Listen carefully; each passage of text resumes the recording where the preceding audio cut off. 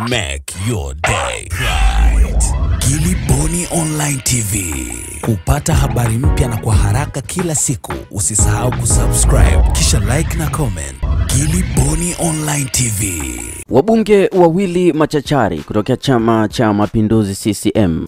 Hapa ninamtaja Nape Moses Nnauye wa jimbo la Mtama, kadhalika mbunge Hussein Bashe wa pale Nzega mjini wameonyesha kukasirishwa na taarifa inayodaiwa ya uongo iliyochapishwa kwenye mtandao wa kijamii wa Twitter wa mbunge wa jimbo la Kigoma mjini, vilevile kiongozi wa chama cha ACT Wazalendo Zito Zuberi Kabwe, uh, ikieleza kwamba wabunge hao wawili wa CCM ukichanganya na mwenzao uh, January Makamba wanakaribishwa pale uh, chama cha ACT Wazalendo. Lakini kibaya zaidi, taarifa hiyo imechapishwa kwenye mtandao huo wa Twitter wa Zito Zuberi Kabwe, lakini Zito Zuberi Kabwe na viongozi wa chama cha ACT Wazalendo wanadai kwamba ujumbe huo haujatoka kwa Zito Kabwe mwenyewe, lakini ni watu waliodukua akaunti yake hiyo ya Twitter na ndio ambao wanasambaza taarifa hiyo ya kizushi na ya uongo tangu uh, mapema asubuhi uh, na hata mchana wa Alhamis ya Juni 27 kulianza kusambaa taarifa mbalimbali ambazo zilikuwa zikichapishwa kwenye mtandao wa kijamii wa Twitter wa Zito Zuberi Kabwe, na baadaye taarifa hizo zilikuja zikakanushwa na viongozi wa chama cha ACT Wazalendo.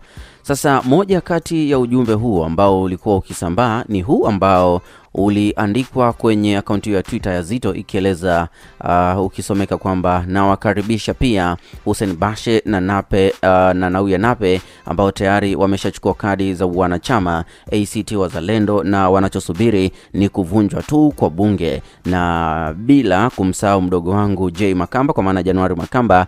Eh, hakika ACT Wazalendo itatikisa Chadema ambayo inatamba kuwa chama kikuu cha upinzani. Narudia, na wakaribisha pia Hussein Bashe na Nape Nauye ambao tayari wameshachukua kadi za wanachama ACT Wazalendo na wanasubiri ni uh, wanachosubiri ni kuvunjwa tu kwa bunge, na bila kumsahau mdogo wangu J Makamba. Hakika ACT Wazalendo itatikisa Chadema ambayo inatamba kuwa chama kikuu cha upinzani. Kwa hivyo ujumbe huu uliotaja wabunge hao watatu wa CCM ndio ambao ume, umewaibua wabunge wawili Hussein Bashe na Nape Nnauye kutaka kufafanua ukweli wa mambo ulivyo. Tutaanza na twiti ya Mheshimiwa Nape Moses Nnauye. Yeye ana tweet, nimeona twiti zinazodaiwa kuwa za ndugu Zito zikinitaja na uh, anaweka kwenye mabano kakanusha sio zake. Kilichonishangaza ni uwezo mdogo wa kufikiri wa wadukuaji. Mnanyimwa usingizi na nini? Anahoji. Hamwezi kuendelea na maisha msiponitaja ka Nape, nimeona tweet uh, zinazodaiwa kuwa za ndugu Zito zikinitaja kakanusha sio zake, kwa maana Zito Kabwe amekanusha sio za kwake. Kilichonishangaza ni uwezo mdogo wa kufikiri wa wadukuaji. Mnanyimwa usingizi na nini? Hamwezi kuendelea na maisha msiponitaja ka. Alafu akaweka picha hiyo hapo ya yeye akiwa na Zito Kabwe pamoja na Januar Makamba. Mwingine yeye anaonekana pia kusikitishwa na tweet hiyo ambayo nimekusomea. Uh, ni Hussein Bashe mbunge wa pale Nzega mjini kupitia CCM, miongoni mwa wabunge wachachari machachari sana. Zito Kabwe, Hussein Bashe wamekuwa machachari sana kutokea Chama cha Mapinduzi CCM. Uh, na wanapochangia hoja hata pale bungeni au kwenye maeneo mengine, basi stesheni yao inakuwa ni kubwa sana, kwa sababu wakati mwingine wamekuwa wakiingia ndani sana kihoja. Sasa nakusomea anachoandika Hussein Bashe, anasema wanaofahamu siasa za Tanzania na vyama uh, na za vyama na wanaonifahamu vizuri misimamo ama maamuzi yangu ya kisiasa huwa sifanyi kwa njia za kificho ama za kichimvi. Siku nikiamua kuondoka CCM nitaondoka hadharani, sintasubiri njia ya kificho ama za kichimvi eh, kama hizo mnazoota. Naandika Hussein Bashe, wanaofahamu siasa za Tanzania na za vyama na wanaonifahamu vizuri misimamo ama maamuzi yangu ya kisiasa huwa sifanyi kwa njia za kificho ama za kichimvi. Siku nikiamua kuondoka CCM nitaondoka hadharani, sintasubiri njia za kificho ama za kichimvi kama hizi mnazoota. Huyo ni Hussein Bashe sasa anajibu ile tweet inayodaiwa kwamba haikutoka kwa Zito bali ni waduku, wadukuzi uh, iliyosema kwamba nawakaribisha pia Hussein Bashe na Nape Nnauye ambao tayari wameshachukua kadi za wanachama ACT Wazalendo na wanachosubiri ni kuvunjwa tu kwa bunge, na bila kumsahau mdogo wangu J Makamba. Hakika ACT Wazalendo itatikisa Chadema ambayo inatamba kuwa chama kikuu cha upinzani.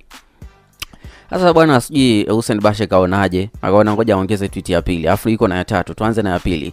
Kuna nyakati nchi lazima ipite ipitie hatua kama hii kujifunza kama taifa madhara ya kuwapa nafasi wapumbavu, ili siku ingine wenye madaraka wasirudie kuwapa nguvu wapumbavu, ili mambo ya kipumbavu yasiwe sehemu ya jamii yetu, na nimetumia neno wapumbavu na si wajinga katika uzito wake. Kuna nyakati nchi lazima ipitie hatua kama hii, hii kujifunza kama taifa. Madhara ya kuwapa nafasi wapumbavu ili siku ingine yenye madaraka wasirudie uh, siku, siku, siku ingine wenye madaraka wasirudie kuwapa nguvu wapumbavu ili mambo ya kipumbavu yasiwe sehemu ya jamii yetu, na nimetumia neno wapumbavu na si wajinga katika uzito wake.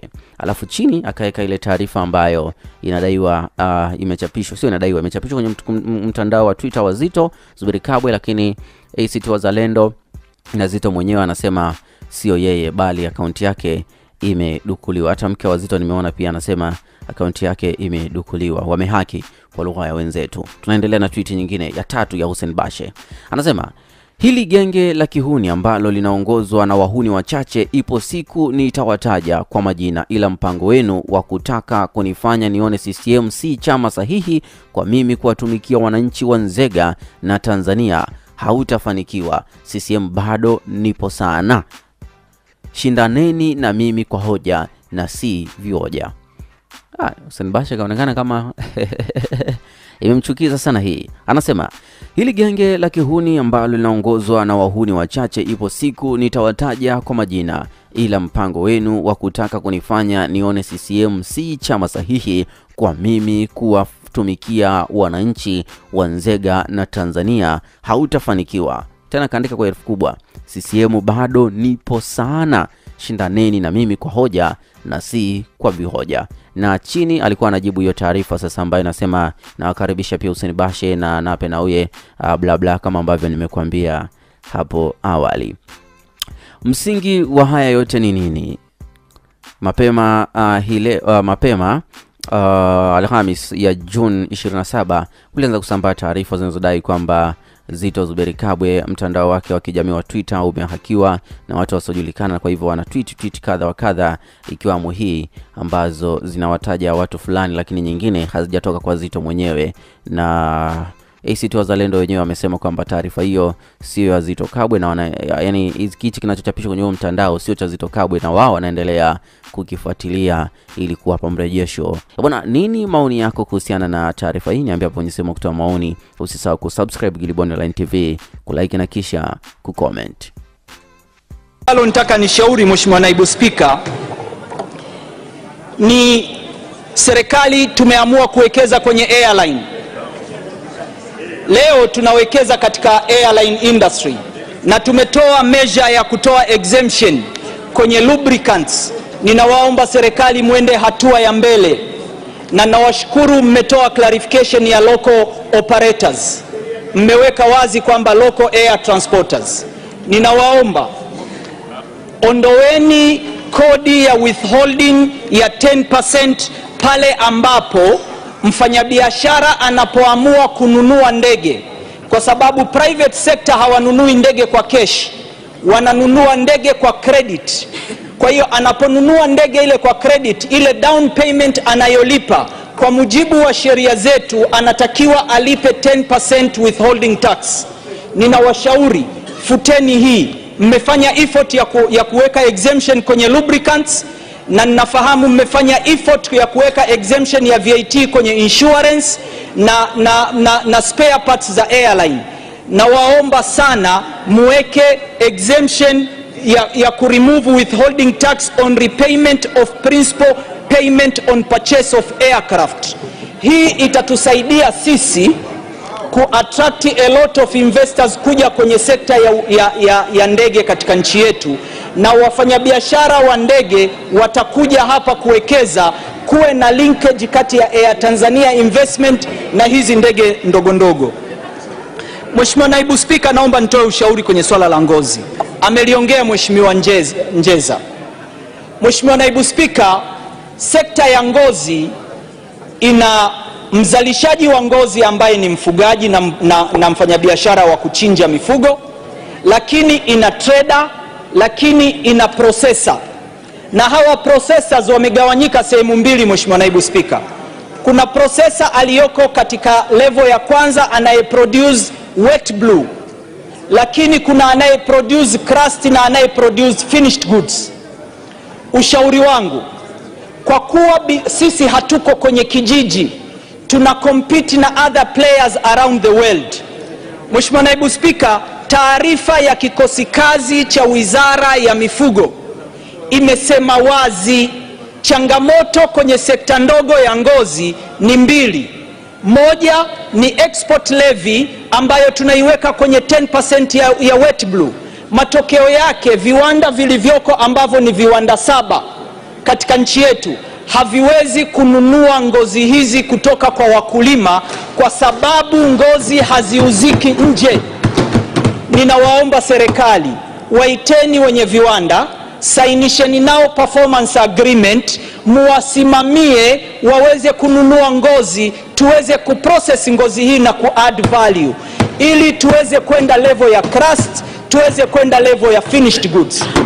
Mheshimiwa Naibu Spika, niipongeze serikali kwa kuondoa kodi na, ya kupu, excise duty mliopunguza kwenye mazao yanayotokana na mvinyo unaotengenezwa na ndizi na vitu vingine. Ushauri, extend hii dockets, muongeze na mazao na mvinyo unaotokana na zabibu. Mheshimiwa Naibu Spika, zabibu inachajiwa shilingi mia mbili shilingi mia, mia mbili pa kilo. Tumepropose shilingi sitini kwenye mvinyo unaotokana na mazao yanayotengenezwa na, na, na, na ndizi. Nini ushauri wangu? Tanzania ni mkoa wa Dodoma, ndio tunazalisha zabibu.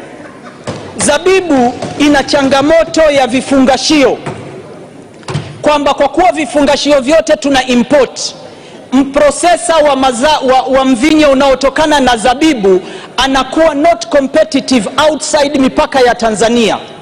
Kwa hiyo mkiongeza hii docket tukampa na yeye incentive ya shilingi 61 na mimi nimwombe waziri wa fedha dada yangu Ashatu ambaye yuko hapa kwa niaba ya waziri wa fedha, kwenye mpango tunatenga 10 billion kwa ajili ya ngozi. Ushauri wangu allocate hizo 10 billion kwenye zabibu ili tuweze kupanua sekta ndogo ya zabibu, wakulima walioko Dodoma waweze kufaidika. Mwisho kabisa, Mheshimiwa Naibu Spika, niwaombe, sekta ya kilimo ndio ime, imeajiri Watanzania wengi.